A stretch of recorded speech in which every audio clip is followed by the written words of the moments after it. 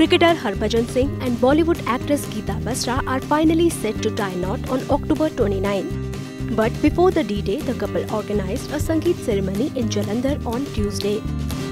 Sangeet ceremony was a star-studded event with performances by famous singers Mika Singh and Gurdas Mann, and the guest list included cricketers Yuvraj Singh, RP Singh, among others. The wedding celebrations will be spread over five days, including Mehndi, Sangeet, Pheras, and reception, which will take place in New Delhi on November 1.